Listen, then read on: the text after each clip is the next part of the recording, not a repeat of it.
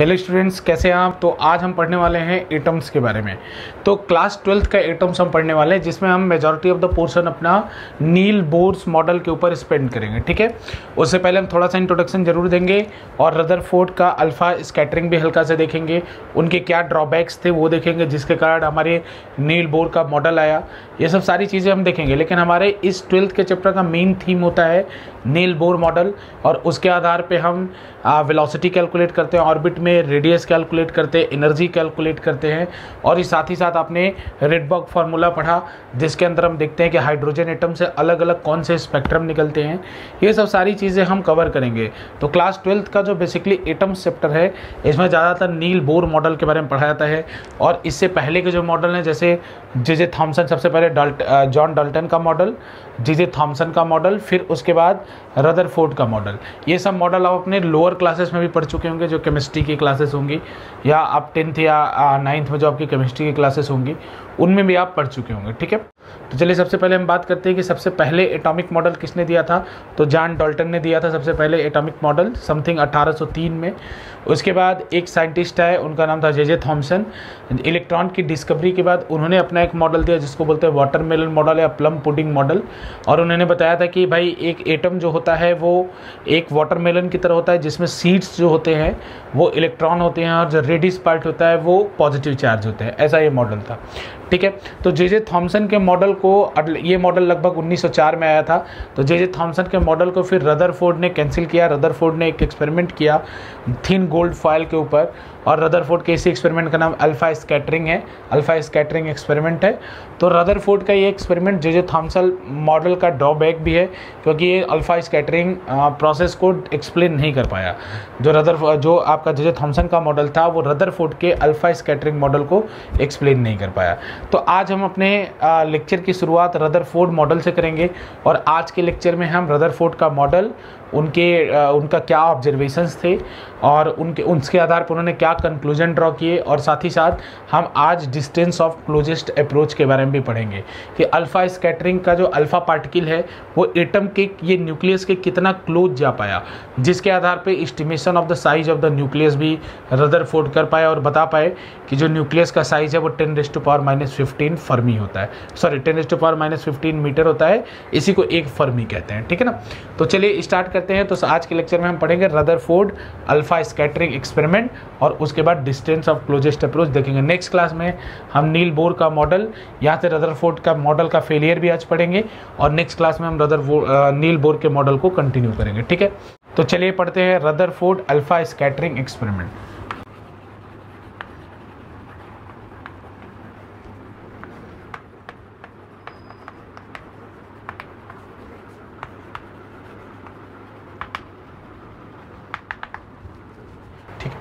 तो जैसा जानते हैं स्टूडेंट रदरफोर्ड ने क्या लिया था? थिन गोल्ड फॉयल ली थी। पतली सी गोल्ड का फॉयल लिया था।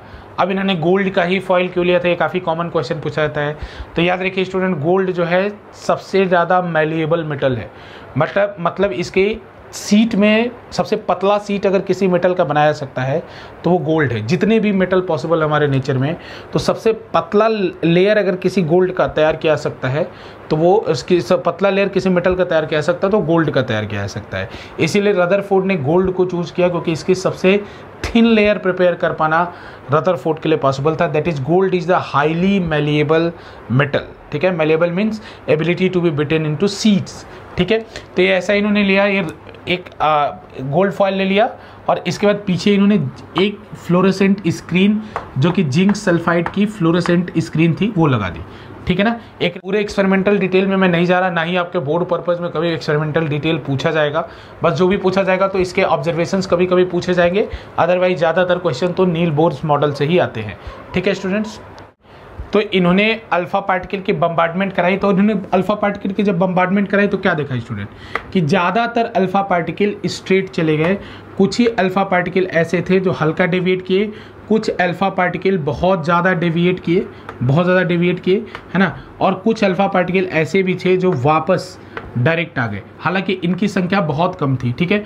तो मैं एक एस्टिमेटेड डायग्राम बना रहा हूँ स्टूडेंट उतना डिटेल नहीं बना रहा। ऐसे बहुत सारे अल्फ़ा रेज गई और बहुत सारे यहाँ पे फ्लोरेसेंट स्क्रीन पे हमें प्रिंट प्राप्त हुए।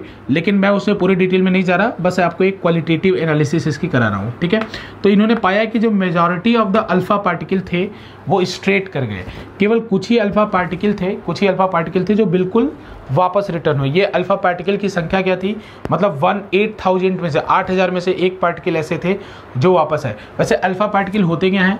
अगर किस, कुछ ही कोई अल्फ़ा पार्टिकल में डाउट है तो अल्फ़ा पार्टिकल के बारे में बता दूँ स्टूडेंट जो हीलियम का एटम होता है हीलियम का एटम जैसे H E four two atomic number two mass number four अगर इसमें से दो इलेक्ट्रॉन आप निकाल दीजिए, इसके अंदर से दो इलेक्ट्रॉन निकाल देंगे तो इसके ऊपर प्लस टू चार्ज आ जाएगा।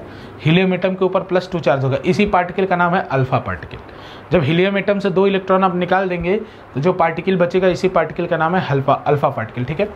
अच्छा स्टूडेंट गोल्ड फॉयल एक्सपेरिमेंट अब ये ऐसा रहा। तो इनके एक्सपेरिमेंट के की ऑब्जर्वेशंस क्या थे? तो इनके एक्सपेरिमेंट के की ऑब्जर्वेशन क्या थे कि majority of the alpha particle went undeviated तो इन्होंने इससे क्या कॉन्सेप्ट इससे क्या कंक्लूजन निकाला कि most of the atom's part is empty या वैकेंट इन्होंने बताया कि एटम्स का मोर देन 90 परसेंट पार्ट जो है, या मोर देन 90 या उससे भी ज़्यादा पार्ट खाली जगह है मतलब उसमें कुछ भी नहीं है, ठीक है ना? और फिर उसके बाद इन्होंने क्या कंक्लूजन निकाला? दूसरी चीज़ कि भाई कुछ जो है थोड़ा सा डेविएट हुए, कुछ बहुत ज़्यादा डेविएट हुए। तो उन्होंने बोला कि भाई कि एटम्स के सेंटर में एक पॉजिटिव चार्ज रखा हुआ जिसके कारण जो पॉजिटिव चार्ज के जब करीब से अल्फ़ा पार्टिकल गए तो ज़्यादा डेविएट हुए पॉजिटिव चार्ज से थोड़ी दूर गए तो रिपल्सन के कारण थोड़ा डेविएट हुए, लेकिन ज़्यादा डेविएट नहीं हुए। तीसरा इन्होंने बोला कि 8000 में से लगभग एक अप्रॉक्सीमेट आइडिया कि 8000 अल्फ़ा पार्टिकल अगर गोल्ड फॉइल के ऊपर बम्बार्ड हुए तो उसमें से एक पार्टिकल, आठ एट थाउज़ेंड में से एक पार्टिकल जो है डायरेक्ट अपने पाथ को रिट्रेस किया। तो इन्होंने क्या बोला कि बहुत एटम्स के बहुत कम स्पेस में उसका सारा मास है और उस मास के ऊपर पॉजिटिव चार्ज है, जहाँ से ये अल्फ़ा पार्टिकल वापस आया है। ये पॉजिटिव चार्ज है, ठीक है ना? जहाँ से अल्फ़ा पार्टिकल वापस आया। तो उन्होंने बोला था, इसे क्या कंक्लूजन निकाला कि एटम का जो सारा का सारा मास और चार्ज है, वो सेंटर पे है। सारा का सारा मतलब सेंटर उसका एक बहुत ही डेंस हाईली चार्ज और हाईली मास डेंसिटी वाला मास डेंसिटी वाला है। इसी को उन्होंने न्यूक्लियस नाम दिया था। तो रदरफोर्ड ने रदरफोर्ड की डिस्कवरी बोला है कि भाई रदरफोर्ड ने अपने अल्फ़ा स्कैटरिंग मॉडल से न्यूक्लियस का भी खोज किया था। तो इन्होंने अपना फिर इसके इसके ऑब्जर्वेशन के आधार पे कि भाई एटम्स के ज़्यादातर पार्ट वैकेंट हैं और उसका सारा का सारा मास सेंटर में है और सेंटर के ऊपर एक थिक पॉजिटिव चार्ज है, क्योंकि बहुत कम पार्टिकल ही वापस है। तो इसलिए उन्होंने बोला सेंटर के ऊपर बहुत थिक पॉजिटिव चार्ज है। इन्होंने अपनी एक एटॉमिक मॉडल दिया। तो इनका एटॉमिक मॉडल क्या था स्टूडेंट? इनका एटॉमिक मॉडल था, आप सब लोग जानते होंगे कि सेंटर के ऊपर सारा का सारा, एक एटम का सारा का सारा मास और जो उसका चार्ज है, वो सेंटर के ऊपर होता है और इलेक्ट्रॉन उसके चारों तरफ़ रिवॉल्व करते हैं। इलेक्ट्रॉन इसके चारों तरफ़ रिवॉल्व करते हैं। ये किससे इंस्पायर थे? ये किससे इंस्पायर थे? ये जो मॉडल था, वो किससे इंस्पायर था स्टूडेंट हमारे प्लानिटरी मोशन से। प्लानिटरी मोशन से। जैसे सन होता है सेंटर में, उसके चारों तरफ़ इलेक्ट्रॉन सॉरी प्लैनेट्स रिवॉल्व करते हैं। ये प्लानिटरी मॉडल से इंस्पायर हुए। और इन्होंने ये भी बताया कि जैसे न्यूक्लियस के साइज़ का भी इस्टीमेशन किया, और उन्होंने बताया कि एटम का साइज़ लगभग ten डेस्ट to power minus ten metre का होता है, इसको ही एंगस्ट्रॉम कहते हैं। एक एंगस्ट्रॉम के ऑर्डर का होता है और जो न्यूक्लियस का साइज़ होता है, वो टेन डेस्ट पावर माइनस फिफ्टीन मीटर यानी एक फर्मी का होता है। एक फर्मी का होता है ना? एक फर्मी का होता है। यानी अगर मैं बात करूँ कि एटम्स के साइज़ या मतलब न्यूक्लियस के साइज़ न्यूक्लियस के साइज़ से एटम के साइज़ में आप रेशियो निकाल सकते हैं स्टूडेंट कि भाई ten raise to power five times ten raise to power five times यानी एक लाख गुना। एक लाख गुना, एक एटम जो है, एक न्यूक्लियस से एक लाख गुना ज़्यादा बड़ा होता है। एक एटम जो है, एक न्यूक्लियस से एक लाख गुना ज़्यादा बड़ा होता है, क्योंकि देखिए स्टूडेंट इन दोनों को अगर डिवाइड करूँगा तो टेन रेस टू बार फाइव आएगा। तो यानी एटम जो है, एक न्यूक्लियस का एक लाख गुना होता है। इसी बात को उन्होंने रदरफोर्ड ने कन्वे किया अपने एटॉमिक मॉडल से। अच्छा ठीक है स्टूडेंट अब इस मॉडल का ड्रॉबैक क्या था? इस मॉडल का ड्रॉबैक क्या था? इन्होंने तो ऐसा बता दिया, इस मॉडल का ड्रॉबैक क्या था? तो इस मॉडल का ड्रॉबैक ये था कि तब तक एक वेव की खोज हो चुकी थी उस वेव का नाम है इलेक्ट्रोमैग्नेटिक वेव तो उस इलेक्ट्रोमैग्नेटिक वेव कौन क्रिएट करता है? इलेक्ट्रोमैग्नेटिक के वेव के वेव का सोर्स क्या है? इलेक्ट्रोमैग्नेटिक वेव कैसे क्रिएट होती है? तो भाई, उस समय तक पता चल चुका था कि अगर कोई भी चार्ज पार्टिकल अगर कोई भी चार्ज पार्टिकल एक्सेलरेट करता है तो वो ईएम वेव क्रिएट करता है इलेक्ट्रोमैग्नेटिक वेव क्रिएट करता है। तो देखिए स्टूडेंट जब कोई भी चार्ज पार्टिकल एक्सेलेट करता है तो ई वेव क्रिएट करता है। तो इलेक्ट्रॉन तो सर्कुलर मोशन कर रहा है। हाँ तो इसमें क्या दिक्कत है, सर? कॉन्स्टेंट वेलोसिटी से कर रहा है। लेकिन आपको याद होना चाहिए कि सर्कुलर मोशन अगर कोई भी करता है तो उसके पास एक एक्सेलरेशन होता है। और उस एक्सेलरेशन का नाम क्या है?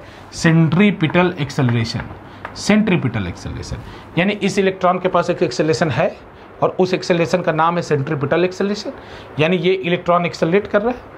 जो इलेक्ट्रॉन है, वो एक्सेलेट कर रहा है, चार्ज पार्टिकल एक्सेलेट कर रहा है। तो अगर चार्ज पार्टिकल एक्सेलेट कर रहा है तो इससे एक E M wave E M wave radiate होगी ईएम वेव बाहर निकलेगी। यानी अगर चार्ज पार्टिकल एक्सेलेट करेगा तो इससे ईएम वेव बाहर निकलेगी। और अगर ईएम वेव बाहर निकलेगी तो भाई by the law of conservation of energy electron अपनी एनर्जी खोता जाएगा। तो अगर इलेक्ट्रॉन अपनी एनर्जी खोता जाएगा तो लोअर ऑर्बिट्स में आता जाएगा, क्योंकि एनर्जी जितनी कम, उतनी लोअर ऑर्बिट्स में आपको आना पड़ेगा। लोअर ऑर्बिट्स में आता जाएगा तो लगातार अगर ई वेव निकलेगी तो स्पायरल बन के इलेक्ट्रॉन न्यूक्लियस के अंदर चला जाएगा। एनर्जी खोता जाएगा लोअर ऑर्बिट्स में आता जाएगा आता जाएगा क्योंकि याद रखिए कि अगर आपका एनर्जी कम है तो आप लोअर ऑर्बिट्स में रहेंगे। तो लोअर ऑर्बिट्स में आता जाएगा क्योंकि अदरवाइज़ आपको स्टेबल ऑर्बिट मिलेगा ही नहीं। तो लगातार एनर्जी निकलने के कारण इसका ऑर्बिट लोअर होता जाएगा और लोअर होते होते कहाँ चला जाएगा? न्यूक्लियस में चला जाएगा। तो इससे क्या हो जाएगा? पूरी दुनिया डिस्ट्रॉय हो जाएगी। क्योंकि पूरी दुनिया तो एटम से बनी है और पूरी दुनिया तो डिस्ट्रॉय हुई नहीं। इसका मतलब रोज रदरफोर्ड का ये वाला मॉडल था, इसमें यह ड्रॉबैक है। मतलब ये जो ऑर्बिट वाला इनका मॉडल था, जिसमें इन्होंने कहा था कि भाई इलेक्ट्रॉन जब सर्कुलर ऑर्बिट में रिवॉल्व करेंगे तो सर्कुलर ऑर्बिट में रिवॉल्व करेंगे तो रेडिएट करेंगे। इसलिए इनका ये मॉडल का ड्रॉबैक था कि एक्सप्लेन नहीं कर पाए कि जो एनर्जी डेविएट होगी और इसके कारण इलेक्ट्रॉन स्पाइरल बना के पाथ अपना न्यूक्लियस में गिर जाएगा तो क्यों नहीं गिरा? दूसरी बात, इन्होंने एक स्पेक्ट्रल लाइन का स्टडी किया गया स्टूडेंट कि जब हाइड्रोजन एटम के ऊपर हाइड्रोजन एटम जो गैसेस हाइड्रोजन एटम उसके ऊपर जब इलेक्ट्रिक फ़ील्ड और मैग्नेटिक फ़ील्ड पास कराई गई तो लाइट निकली उससे। कुछ स्पेक्ट्रल लाइंस निकली। उन स्पेक्ट्रल लाइंस का एक्सप्लेनेशन रदर फोर्ड नहीं कर पाए थे। तो ये इनके मॉडल की डिसएडवांटेज थी स्टूडेंट तो इसी मॉडल को फिर दूर किया नील बोर ने, और देखेंगे वो कैसे दूर किया अपने नेक्स्ट क्लास में। तो आज के लेक्चर में हम अगला पढ़ते हैं, जो हमने बात किया था आपसे डिस्टेंस ऑफ़ क्लोजेस्ट अप्रोच इसके नोट्स को आपको लिखने की ज़रूरत नहीं है नोट्स आपको नीचे डिस्क्रिप्शन में मिल जाएगा। हम अपने वेबसाइट्स पे नोट्स अवेलेबल करा देंगे स्टूडेंट तो इसको लिखने की ज़रूरत नहीं है, बस आप समझते रहिए कॉन्सेप्ट्स को, ठीक है? अब हम बात करते हैं डिस्टेंस ऑफ़ क्लोजेस्ट अप्रोच की। तो स्टूडेंट अब हम बात करने वाले कि डिस्टेंस ऑफ़ क्लोजेस्ट अप्रोच क्या है? तो देखिए, जैसे अगर मान लीजिए, जैसे मैंने अभी रदरफोर्ड का जो एक्सपेरिमेंट बताया, इसमें सेंटर के ऊपर जो चार्ज होगा, वो अगर एटॉमिक नंबर जेड है तो इसके ऊपर चार्ज होगा, वो जेड इंटू ई होगा। अगर एक प्रोटॉन के ऊपर चार्ज मैं प्लस ई बात करूँ, वहीं ई है one point six seven into ten raised power minus nineteen coulomb बोला तो सेंटर के ऊपर चार्ज कितना होगा? प्लस जे डी अब जैसे ही अल्फ़ा पार्टिकल जो अल्फ़ा पार्टिकल रिटर्न करके अब हम उसकी बात कर रहे हैं। तो अल्फ़ा पार्टिकल जैसे इसके पास जाना शुरू करेगा अल्फ़ा पार्टिकल जैसे पास जाना शुरू करेगा तो पास जाना शुरू करेगा स्टूडेंट तो इसको एक कुलॉम्बिक रिपल्सन फील होगा। क्यों? क्योंकि अल्फ़ा पार्टिकल के ऊपर कौन सा चार्ज है? पॉजिटिव और इसके बाद मतलब two e plus two e charge है। और इसके बाद जब ये पास जाएगा तो ये इसको रिपल करेगा। तो ये पूरा जाके न्यूक्लियस से टकरा नहीं पाएगा। न्यूक्लियस से कुछ दूरी पे रह जाएगा। ये डी न्यूक्लियस से कुछ दूरी पर रहेगा। क्यों? क्योंकि अल्फ़ा पार्टिकल है तो एक टाइम ऐसा है जैसे मैं यहाँ से कुछ काइनेटिक एनर्जी से इस अल्फ़ा पार्टिकल को भेजा हूँ तो यहाँ पे जाने के बाद क्या होगा कि काइनेटिक एनर्जी कम होती जाएगी क्योंकि ये इसको रिपल्सन करेगा तो स्पीड को कम करता जाएगा। तो एक पॉइंट ऐसा आएगा जिसके बाद ये न्यूक्लियस के और पास नहीं जाएगा। तो ये जो डी है, वो डिस्टेंस ऑफ़ क्लोजेस्ट अप्रोच है। मतलब अल्फ़ा पार्टिकल इतना ही पास में जा सकता है, ठीक है ना? तो इस डी को हमको कैलकुलेट करना तो कैसे कैलकुलेट किया जाए? तो सिंपल एनर्जी कंजर्वेशन की इक्वेशन लगा देंगे स्टूडेंट यहाँ पे पहले अल्फ़ा पार्टिकल पास काइनेटिक एनर्जी थी। यहाँ पे जाने के बाद पूरी की पूरी काइनेटिक एनर्जी खत्म हो गई। किसमें कन्वर्ट हो गई? पोटेंशियल एनर्जी में। और वो पोटेंशियल एनर्जी कौन सी है? कुलाम्बिक पोटेंशियल एनर्जी जो आप पढ़ते हैं k q one q two by r तो चलिए वहीं काम करते हैं। तो शुरू शुरू में इसके पास काइनेटिक एनर्जी थी, है ना? बाद में यही काइनेटिक किस एनर्जी किसमें कन्वर्ट हो गई? पोटेंशियल एनर्जी में। तो ये दोनों इक्वल होनी चाहिए by the law of conservation of energy क्योंकि यहाँ पे कोई भी नॉन कंजर्वेटिव फोर्स नहीं है। तो देखिए स्टूडेंट काइनेटिक एनर्जी को ऐसे लिख सकता हूँ हाफ़ एम वी स्क्वायर यहाँ पे एम क्या है? अल्फ़ा पार्टिकल का मास ठीक है पी ई पी क्या होगा? तो के के वही कुलम कुलम फोर्स वाला के इसको nine into ten raise to power nine के इंटू जे डी एक चार्ज है जे डी दूसरा चार्ज है two e Z e into two e क्यों? K q one q two तो J D into two e divided by d ji d into two e divided by d तो अगर इसको आप solve करेंगे तो डी की वैल्यू कितनी निकल के आएगी स्टूडेंट डी की वैल्यू निकल के आएगी four k four k Z e square देखिए टू से इधर, ये टू उधर जाके मल्टीप्लाई हो जाएगा और ये ई e और ई ई स्क्वायर हो जाएँगे four k Z e square divided by m v square divided by m v square तो इसी को हम क्या कह रहे हैं? इसी को हम कह रहे हैं distance of distance of closest approach इसी को हम कह रहे हैं डिस्टेंस ऑफ़ क्लोजेस्ट अप्रोच इसी से रदरफोर्ड ने इसी से रदरफोर्ड ने साइज़ ऑफ़ द न्यूक्लियस का एस्टिमेशन किया था। इसी फॉर्मूले से रदरफोर्ड ने साइज़ ऑफ़ द न्यूक्लियस का एस्टिमेशन किया था, ठीक है? तो उम्मीद है आपको ये लेक्चर पसंद आया होगा और अगर आपको ये लेक्चर पसंद आया और आपने इस वीडियो को लास्ट तक देखा है तो ज़रूर हमें लाइक करें, जिससे हमें पता चलेगा कि ये वीडियो आपने लास्ट तक देखा है। और इसके बाद नेक्स्ट क्लास में हम नील बोर मॉडल के बारे में पढ़ेंगे और उसके डिटेल्स को देखेंगे, जो आपके क्लास ट्वेल्थ का मेन पोर्सन है, ठीक है?